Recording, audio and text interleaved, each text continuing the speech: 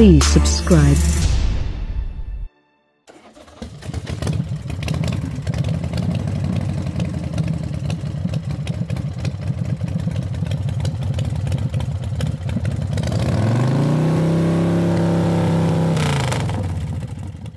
The BMW G310R offers riders a premium option that is still within reach.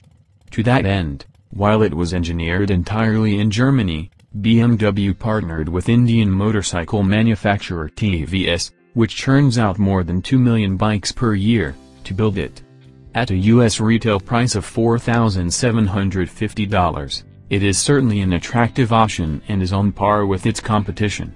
Powering the G310R is an all-new, 313cc liquid-cooled single-cylinder engine that BMW says is good for 34 horsepower and 20.7 pounds-to-feet of torque. It's a sophisticated little thing, with DOHC and four valves, and many of its internals such as the camshafts and DLC, diamond-like carbon, coated rocker arms are based on those used in the S1000RR. It handled the California freeways without breaking a sweat, settling smoothly into its sixth gear and humming along with traffic at 75 miles per hour. A rotating counterbalancer in front of the crankshaft tames much of the vibration, and for the most part the G310R delivered a smooth ride, only becoming buzzy in the upper limits of the rev range. Neutral could be a bit elusive at stops, but that might be attributable to the newness of the engine. My test bike had less than 300 miles on it. A bike with such good performance and handling deserves equally good brakes, and BMW once again delivered. The G310R is fitted with stainless steel brake lines, a big 300mm disc up front squeezed by a 4-piston caliper, and a 240mm disc in back fitted with a 2-piston caliper. BMW 2-channel ABS is standard. The combination works very well, with plenty of bite for aggressive sport riding and good feel at the lever, although I wish it were adjustable. I found the position to be just a bit too far away for my female-sized hands, and it seems like a strange oversight for a bike that will appeal to smaller riders.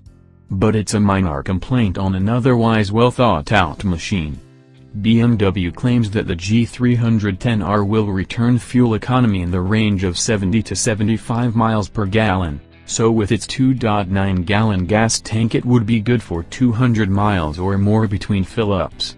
According to the digital display on my test bike, I was averaging more like 64 miles per gallon, but then again we were pushing the pace and having a lot of fun, and let's face it, 64 miles per gallon isn't so bad at 350 pounds, claimed, wet, and with a seat height of 30.9 inches, the G310R should make a stellar urban commuter.